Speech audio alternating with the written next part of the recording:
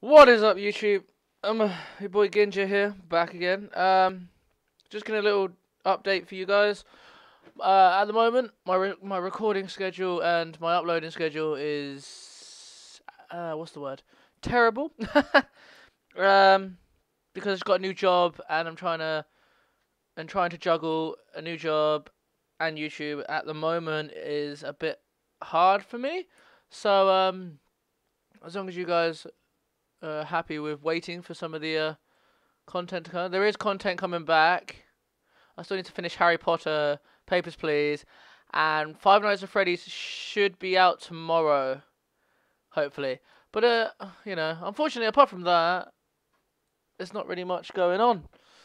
It's just I do apologise that I've been a bit slow with the uploading recently, and um, just just basically making this little update so you guys know that I am still gonna be releasing more content. It's just gonna take me a little bit longer than usual.